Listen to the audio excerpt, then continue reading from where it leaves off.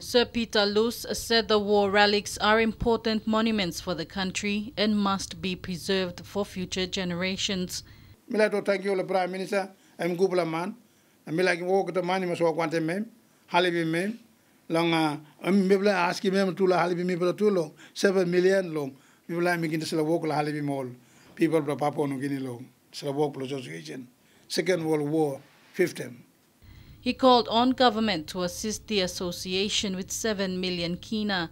He said reports of the Japanese and Australians coming into the country and removing the relics, including skeletons of their relatives, must be stopped.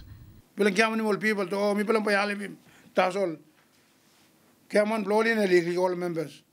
association is planning to travel to Japan this year and discuss the issue of compensation with the government. Bernadette Effie, National EMTV News.